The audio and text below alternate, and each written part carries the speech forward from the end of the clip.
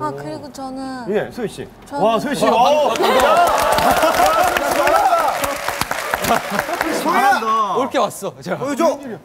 저희 태미 활동하고 있는 있었을 때예요. 근데 비가 막 오는 행사여가지고 바닥이 굉장히 미끄러운데 힐을 신고 춤을 추는데 저는 나름대로 굉장히 열심히 아 이거 넘어지면 정말 민망하겠다 진짜 이거는 안 되겠다 해서 열심히 췄는데 제가 맨 센터에 서서 맨 앞줄에 오는데 재미 재미 재미. 말하고 같이 웃어요. 뭐 어떻게 좀 어떻게 흥분을 가라앉히고 예예. 오다가 제가 넘어진 거예요. 어떻게 어떻게?